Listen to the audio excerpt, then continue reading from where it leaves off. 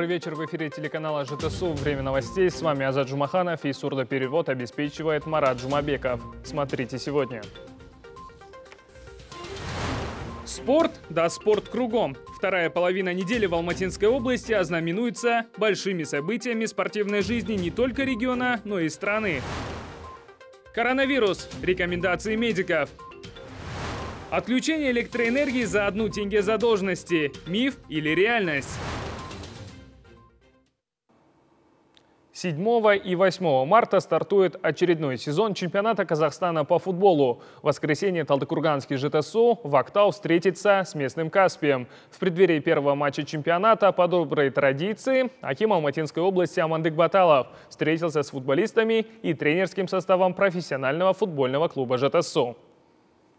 По итогам прошлогоднего чемпионата семиреченцы оказались в топ-5 сильнейших клубов элитного дивизиона страны. Под руководством Дмитрия Огая ЖТСУ стал именно той командой, которой начали бояться не только аутсайдеры, но и лидеры казахстанского футбола. За прошлый сезон команда не раз становилась на пути таких грандов, как Астана, Кайрат, Табол и другие. В этом же году Аким области Амандык Баталов ставит перед коллективом более амбициозные задачи. Жицу – это команда, которая имеет очень давнюю, хорошую такую историю. Поэтому играйте, настраивайте, что вы сильнее всех, все условия создали. Если будете играть, ну, я понимаю, там должны быть лидеры. Там же без звезд не бывает. Там, где есть звезды мирового масштаба, они лучше играют. Они ведут команду. Но я же вам не говорю, чемпионами станьте и все. Потому что я понимаю, там, что такое Астана и Кайрат. Играйте, настраивайтесь на хороший результат. К нынешнему чемпионату семиреченцы подходят в хорошей форме. На сборах в Турции ЖТСУ не раз обыгрывал грандов чемпионатов Грузии, Белоруссии, России и других. Благодаря грамотной трансферной политике клубу удалось сохранить лидеров команды, а к тому же в клуб приняты 8 новичков. Это опытные легионеры и талантливая молодежь Академии ЖТСУ. Руководство команды поблагодарило Аманды Кабаталова за всестороннюю поддержку и пообещало не жалеть сил для успешного выступления в предстоящем сезоне сезоне. Мы благодарны вам за ваше внимание, потому что мы прекрасно понимаем, что у Акима области есть много забот и хлопот. И мы провели в этом году хорошие сборы на высоком уровне, играли с э, сильными соперниками и хорошо подготовились. И по доброй сложившейся традиции, в знак благодарности и уважения, от имени команды Акима области Аманды Кубаталову вручили футбольную форму клуба символичным номером 7.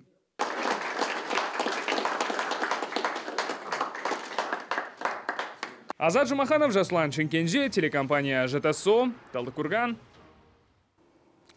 с 6 по 8 марта в Талдыкургане пройдут игры 4 малого тура 28-го чемпионата Республики Казахстан по волейболу среди женских команд мастеров Национальной лиги. В стенах спорткомплекса «Жастар» Семиреченский клуб ЖТСУ встретится с командами «Алтай», «Алтай-2» и «Алматы».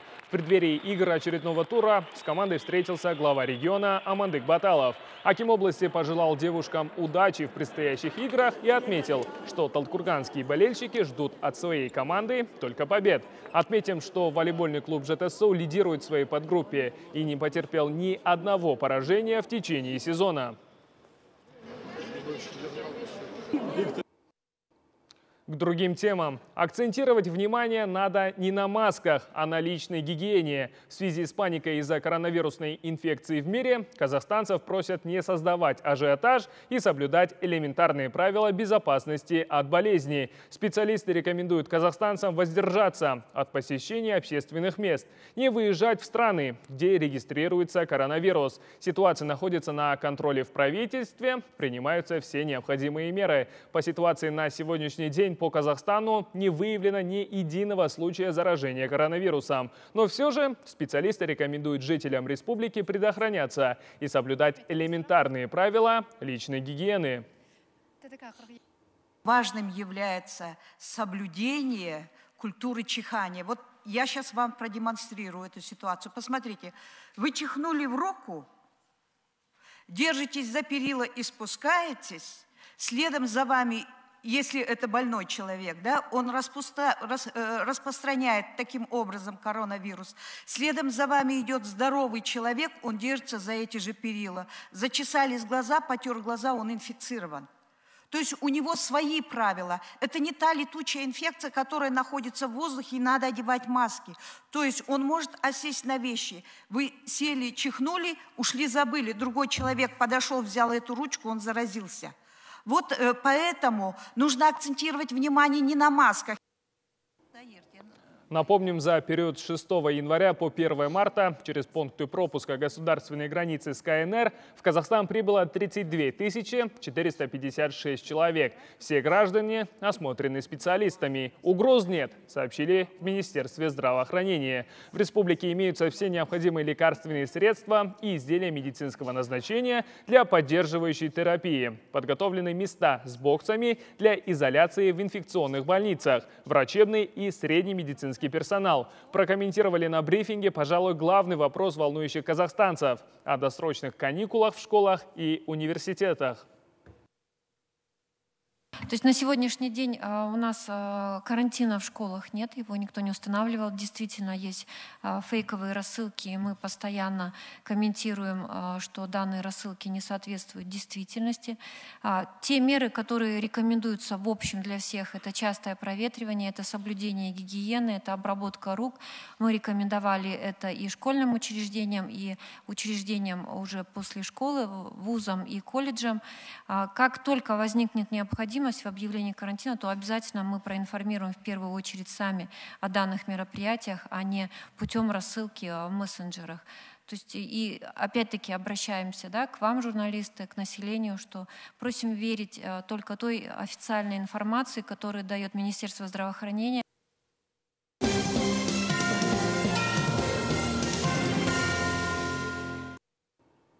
В системе оплаты потребленной электроэнергии появились некоторые новшества. Ими интересовался наш корреспондент Евгения Присяжная. Как оказалось, отключить подачу электроэнергии или заблокировать лицевой счет бытового потребителя электроснабжающая организация может только после официального уведомления. Подробнее смотрите далее.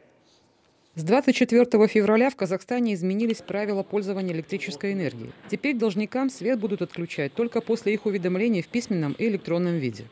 Теперь потребители получат а, возможность получать уведомления о прекращении поставки электрической энергии способами, которые они выберут сами. Электронной почтой, факсом, почтовым отправлением, коротким, коротким текстовым сообщением, мультимедийным сообщением – действующими мессенджерами. Новшеством для юридических лиц становится тот факт, что теперь срок с момента получения уведомления до отключения подачи электричества стал больше. Был три дня, теперь пять.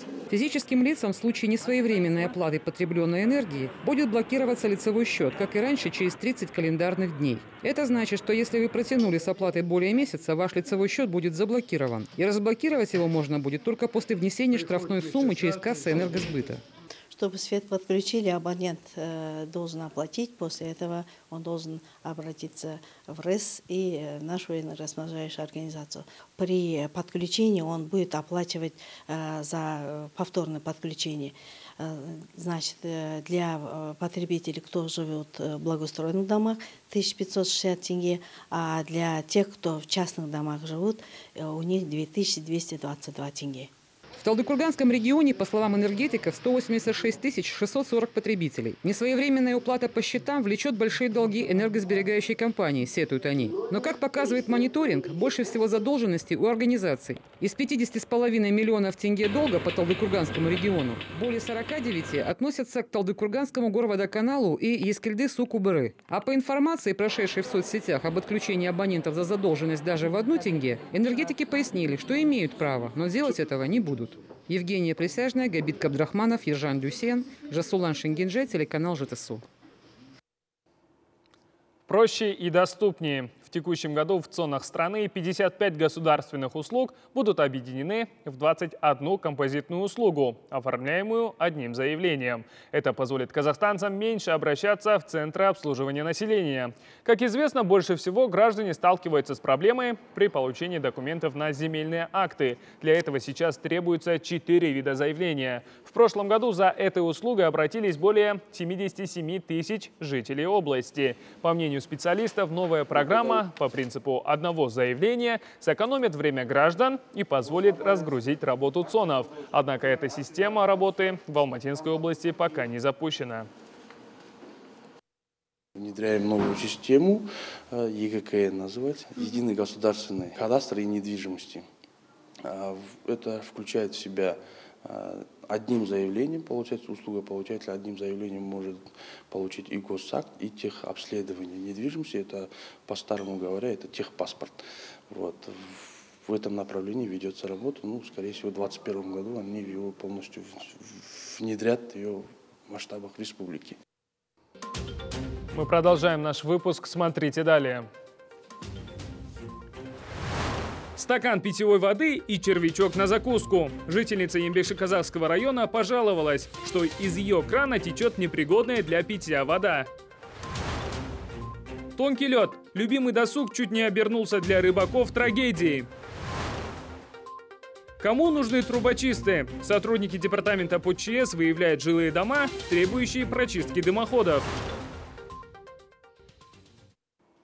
Известный профессор Рахман Алшанов сделал сенсационное заявление, передает 24 КЗ. По его словам, жизнь на Земле возникла в степи Туран. Следы первых астероидов, упавших на нашу планету, обнаружили на территории Казахстана. Ученые нашли четыре крупных кратера. Они определены под Актобе, вблизи озера Балхаш и Аральского моря. Профессор говорит, что изучая священную книгу Зороастры Авеста, он пришел к выводу, что жизнь на Земле произошла именно на землях Турана. В книге Авеста зафиксированы события, которые происходили 4, 5, 6 тысяч лет назад. Все это было на нашей Земле. Сам человек, написавший Авесту, родился на берегу Аральского моря и жил на севере Турана, сказал Рахман Алшанов. Объем теневого рынка легкой промышленности в два раза превышает официальные показатели. По официальной статистике в стране производится одна мужская верхняя одежда в год на 40 человек, один свитер на 105 человек. Остальную часть одевают за счет импорта. Легкая промышленность Казахстана на сегодняшний день – это макроэкономическая проблема. Так считает депутат Сената Манап Кубенов, сообщает корреспондент «Закон КИЗ». По его мнению, засилие импорта, контрабанды и контрафактной продукции – самые больные темы для отрасли. По неофициальной статистике, удельный вес импорта товаров легкой промышленности самый высокий в обрабатывающей промышленности и доходит до 95%. В Казахстане введено временное ограничение движения для больших грузов, передает пресс-служба Министерства индустрии и инфраструктурного развития. Весенний период из-за снижения несущной способности конструктивных элементов трасс. Ограничено движение грузового автотранспорта с нагрузкой на одиночную ось свыше 8 тонн. В регионах страны ограничения вводятся в разное время, в зависимости от природно-климатических особенностей территории, отмечается в сообщении. С 1 марта по 1 апреля апреля ограничено движение на дорогах Алматинская, Атрауская, Жамбылская, Карагандинская, Кызылординская, Мангистауская и Туркестанская областей. С 23 марта по 1 мая ограничения будут действовать в Восточно-Казахстанской, Акмолинской, Актюбинской, Западно-Казахстанской, Карагандинской, Кустанайской, Павлодарской и Северо-Казахстанской областях. К новостям области. Жители города Исы Кембекши-Казахского района пожаловались на воду с червями. Они утверждают, что вода не приходит должным образом фильтрацию, хотя водоочистительные объекты работают исправно. Разобраться, в чем же причина, поручил Амандык Баталов, создав специальную комиссию. По данным различных средств массовой информации, жалобы поступили от жильцов по улице Алтанадам. Для выяснения обстоятельств специалисты в первую очередь проверили реку Исык, которая обеспечивает питьевой водой 50-тысячное население. Кристально чистая, говорят специалисты. Далее проверке подверглись фильтровальные станции водоочистительных сооружений, куда поступает речная вода. Здесь жидкость проходит через три фильтра очистки. Поступающая вода вначале очищается от камней, мусора и различных мелких веществ. Далее поступает в тысячекубовое водохранилище. Там вода проходит очистку минералами и в целом оттуда поступает для населения чистой. Удовлетворившись результатами проверки, комиссия наведалась к жительнице Есика Асия Исаевой. От которой и поступила жалоба. В ходе расследования здесь в колодце обнаружили помимо нового трубопровода другой, старый. К нему и были, оказывается, подключены жители этого участка. После переключения системы водоснабжения исчерпала себя и проблема. Шли хорошо, я удовлетворена, спасибо, благодарна, конечно, что при, приехали. Вода чистая, да. На сегодняшний день вода чистая, будем наблюдать. Водоснабжение города Исык осуществляется за счет поверхностного водоисточника. А, центром экспертизы, национальным центром экспертизы, были отобраны 5 проб для исследования воды по городу Исык по распределительным, на распределительной сети. Исследованные пробы воды соответствуют санитарным нормам по бактериологическим и санитарно-химическим показателям. В качестве профилактики инфекционных заболеваний рекомендуем населению отстаивать и кипятить воду э, перед употреблением. Отметим, в больнице ни один человек не поступил с отравлением из-за питьевой воды. Члены комиссии проверили ее качество во всем районе, и все соответствует требуемым стандартам. Иляман Раймбеков, Курманжан Касымжанова, Амманжол Жункешев, телеканал Житсу, Имбекши, Казахский район с риском для жизни. Несмотря на плюсовую дневную температуру воздуха за окном, два рыбака отправились на подледный лов и провалились. Как сообщили в департаменте по ЧС, ЧП произошло в Карасайском районе на водоеме К-30. Сообщение поступило на пульт дежурного 3 марта в 15.34. Спасать рыбаков на место происшествия оперативно выехали сотрудники местного отдела по ЧС, спасатели республиканского оперативно-спасательного отряда, а также сотрудники полиции и скорой медицинской помощи. Благодаря слаженной работе незадачливых рыбаков удалось спасти. Пострадавшими оказались местные жители – 32-летний мужчина и 26-летняя женщина. На территории Алматинской области установился положительный температурный фон. Э, в связи с этим просим любителей э, подвод...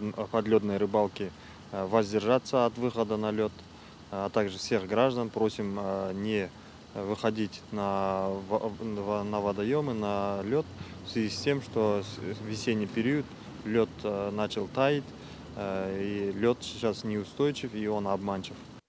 Совместными усилиями спасатели и волонтеры объединились для предупреждения и недопущения несчастных случаев в жилом секторе Сарканского района. Основной акцент делается на проверку печей и дымоходов, а также электронагревателей. Хозяевам в случае нарушения даются рекомендации по их устранению. Вручаются памятки на противопожарную тематику. Помощь добровольцев пришла спасателям как нельзя кстати. Район не маленький, а домов много. 8 тысяч. Успеть обойти их все за отопительный период – задача трудная, но выполнимая, говорят спасатели. По области же специальные отряды обошли более 350 тысяч жилых домов.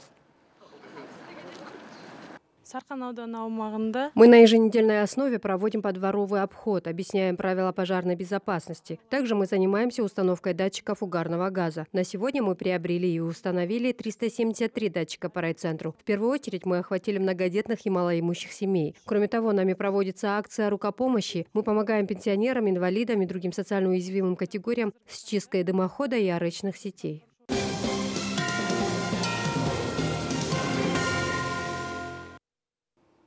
А тем временем коронавирус продолжает распространяться по Европе. Во Франции зафиксировано 212 случаев заражения. 12 человек вылечены, четверо умерли. Цены на медицинские маски и дезинфицирующие гели растут в связи с ажиотажным спросом. Тем временем ВОЗ сообщила во вторник о том, что смертность от коронавируса составляет 3,4%. Для сравнения, в результате сезонного гриппа в основном умирает намного меньше, чем 1% инфицированных. Кроме того, вакцин и специального лечения COVID-19 на данный момент все еще нет, а маски доступны не всем.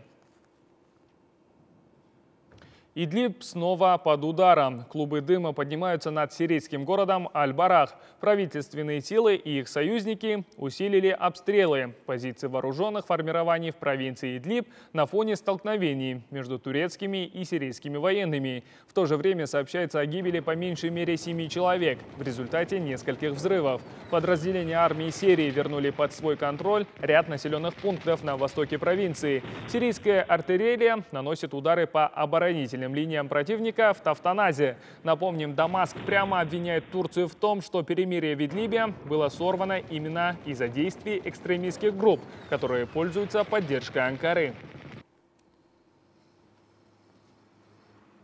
Состояние итальянских автострад вызвало настоящий национальный скандал. Около 20 эстакад в стране нуждаются в капитальном ремонте. 200 существующих туннелей не соответствуют европейским стандартам. Около тысячи автомобильных мостов не имеют официального владельца и не проверялись годами. Пересекаемые эстакадами и туннелями Лигурия в центре этого кризиса. Текущее расследование показало, что главный оператор автомобильных дорог автострада Пер Эль Италия в течение течение многих лет врал о состоянии своей инфраструктуры, начиная с Муранди. Власти страны пока никаких мер не принимают.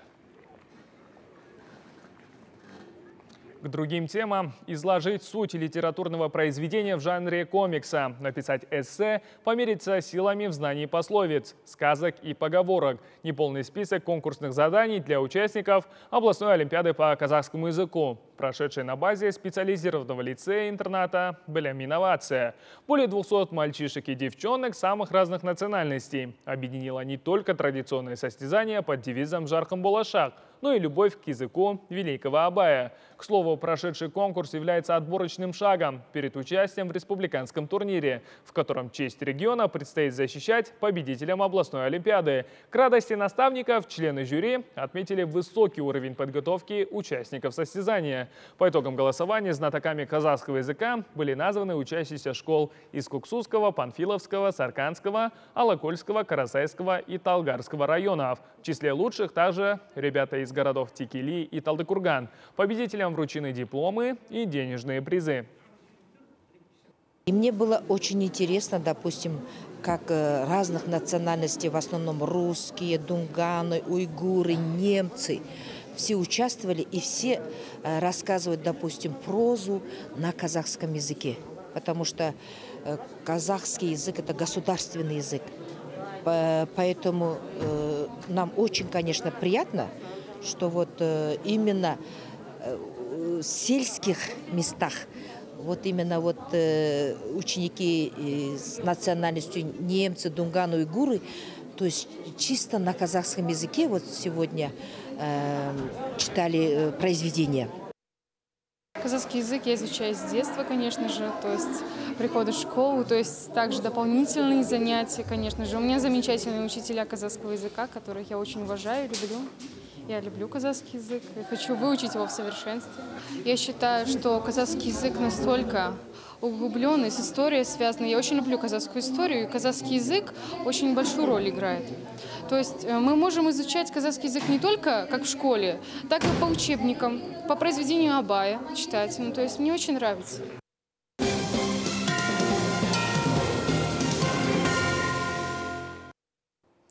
Как рыба в воде. В Талдыкургане прошло городское состязание по плаванию среди учеников средних школ. В нем приняли участие около 90 спортсменов в двух стилях. Организатором турнира выступила Назарбаев интеллектуальная школа. Продолжит наш корреспондент. Городское соревнование по плаванию среди школьников областного центра уже стало традиционным. И в этот раз Ниш Талдыкургана собирает под своей крышей пловцов седьмой год подряд. Всего принимает участие 9 школ. Быстрейшего мастера головой дорожки выявили на одной дистанции, но в двух стилях. Сейчас у нас э, дистанции, две дистанции, 25 метров вольный стиль и 25 на спине. Сейчас количество детей 80, э, 80 и более детей. Возраст детей от 5 до 18 лет. Соревнования у нас проводятся с целью установить дружеские качества среди детей, э, развивать дальнейшее плавание и участвовать в областных соревнованиях по плаванию. Аслан Жумаханов занимается плаванием более пяти лет. Юный спортсмен не раз становился призером городских соревнований. В его ассортименте полный комплект медалей – бронзовая, серебряная и золотая. На этом пловец останавливаться не собирается. Его девиз – двигаться только вперед и достигать поставленных целей. Планы на будущее у юноши грандиозные. Я очень люблю плавать. Это мой любимый вид спорта. Я хожу в спорткомплекс Уркен и занимаюсь там секции плавания уже пять лет. Мне нравится заниматься этим видом спорта. В будущем я хочу стать как олимпийский чемпион Дмитрий Баландин. Победителя выявили в общекомандном зачете. Первое место заняла Назарбаев интеллектуальная школа. На втором месте расположилась 14-я школа. И третье место у школы номер 5. Алексей Цоя, Блэк Утыкбай, телеканал ЖТСУ, Талдокруган. Такой оказалась информационная картина уходящего дня. Спасибо за внимание. До свидания.